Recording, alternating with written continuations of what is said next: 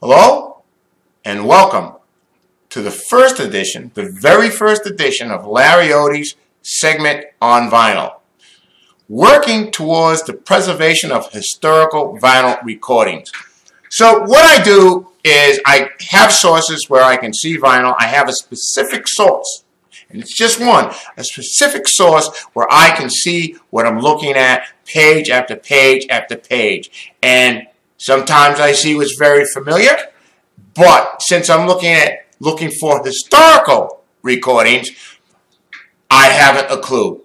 I know some of the names, and I know some of the music, and I may not know the names or have a familiarity with the the music. And so for this edition, this very first edition of Larry Odie segment on vinyl, I, I purchased a lot that uh, consisted of seven or eight albums. One was a double set and also came with a 45. So I count that in there. And so let me run down to you what I got. Steely Dan Gaucho, 1980. The Commodores' Greatest Hits, 1978. The Pointer Sisters, Steppin', 1975.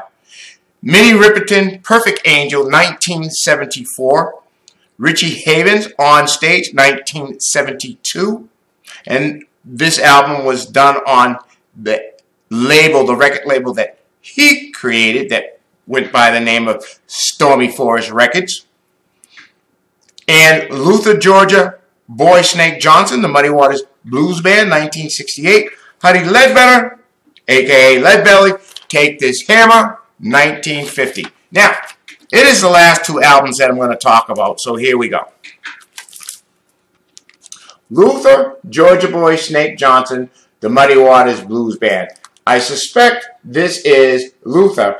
On this album, Muddy Waters lets the he doesn't stay, take front and center. He lets the band do all the talking.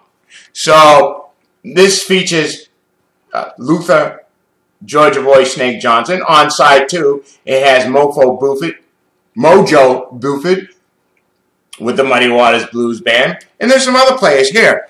Uh, Muddy Waters had a half brother, Otis Spann. And there are two more players that are listed here that uh, this the, this production seems to want to focus on, and it is uh, Sammy Lawhorn on lead guitar and Francis Clay on drums.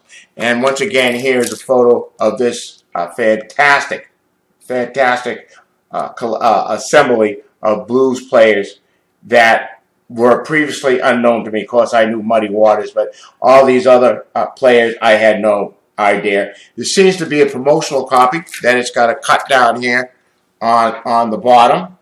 And uh, it's on uh, an independent label called Douglas Records and uh, uh distributed by Laurie Records. And there are no dates on this album. Uh, from my research, this is 1968. The numbers on it are uh, it's in stereo SD781, so you can look that up. And the other significant, interesting thing about this album is some, you know, sometimes musicians do different tracks. We know them today as remixes and, and extended dance uh, tracks. In the ones that I've heard of this song, Long Distance Call, side one, is a story, it's a story of infidelity where one of the characters is talking about what people are saying. Everybody seems to know but him. But in the take that I've heard, or I am most familiar with, there are three players. There is the wife, there is the husband, who's being cheated on, and there's a little girl involved. And she focuses or enhances the fact that the the the the, the the, the, the husband is being cheated on. But in in uh, in this album from 1968, it is missing the little girl. So this is an original cut, and then everything Muddy did after that or when Muddy became the focus of the band. Because see, we have to remember, on this album, Muddy is not the focus. He makes it that way. He puts his band out front. But on further cuts, when he became the significant player, the focus, it is him actually doing the intro. On this, I believe it's Luther Georgia Boy Snake Johnson that does the in intro. And they are completely different. They're completely, in fact, this one, I like this one better than the Muddy Water one. This is more lively. It's uh, oh, it's also holler and response on the Muddy Waters. That some of the, the Muddy Waters uh, take this take this uh, what was it? Take this uh, long distance call. Uh, there is no holler and response. It's just Muddy Waters doing the intro. Okay, and then the middle part of the song, we go back to a talking. So we go from a talking intro into, in, in, into singing, and then we go back to the middle, and then it's more talking. It's just, it's fantastic. I, it's, it was, for me, it was an unbelievable find. You can get this on eBay, but for me, why it's rare is that you would have to know it exists, and I previously did not know. And there's so much that you don't know, and that's why we're here to get some of this that we don't know, we're not familiar with. The next one uh, was the one that was deal sealer. You look at a lot of albums, say maybe five, six, or seven, and you can throw out two. Okay. Use them for target, target practice or frisbees. And then you'll see a couple in there. You might say, or I might say, well, it's worth it. Rarely do I do this. If the lot is not significant enough for me to jump in, then I just disregard it. I don't want to clutter up landfills with records because that's all I would do is throw them out. I don't want them. I'll give you an example. You might have uh, Michael Jackson in, in it will have I would want off the wall in bad and it's going to give me thriller well I already have a copy of thriller. Now exactly I wouldn't throw that out but you get the you get what I'm feeling. There's albums uh, sometimes they pair the albums that they make no sense. They'll say it's blues and it's Eddy Arnold. So you know I know what I'm looking for and this is one of them and I had no idea that this existed. And this is Huddie Ledbetter take this hammer and Huddie, Huddie Ledbetter aka Lead Belly. And it's a 10 inch album, and I had never seen a 10 inch album before. Now, I suspect that I had. I can't really say I can't, but I had never seen a 10 inch like this with this significance, okay? This is on Folkway Records, okay, out of New York. And it, uh, it's called the uh, Huddie Ledbetter Memorial. Copyright 1950. On the first side, we have uh, Reels and Blues, and on the second side, we have work songs, and spirituals. There are 15 tracks total. Uh, Woody Guthrie is on this. Make sure I have that right. Woody Guthrie. Uh, he plays a 12 string guitar on this as well. And as I said, it's a 10 inch. Now, more interesting and significant uh, about this album is a little history about Huddie Ledbetter. Huddie Ledbetter is the original street fighting man as far as the music goes. He was a guy that you didn't want to get into it with because he would hurt you.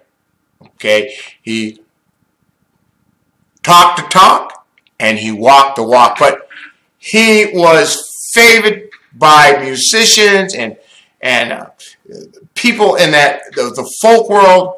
Uh, he was renowned and he was invited and he was led into that world and he stayed in that world. Now, this album also was recorded. Another significant historical factor uh, about this album is that uh, Alan Lomax is what they call the editor. There is no producer here, and once again, there are no dates. Well, actually, on this one there is a date because this is a historical recording. This uh, and, and and and they had a recorder, and it, it was cumbersome, cumbersome so and and they would put it in the back seat, and they would go out. Alan, uh, the Lomaxes, father and son team, would go out into the countryside and uh, the rural side, the rural areas, and they would record. They would hook the recorder up to a car battery, and they would record these people right on their front porches. And without that, some of these works would have never we would have never heard them. And this this is one of them. Although this isn't a countryside recording, but most possibly uh, possibly was was uh,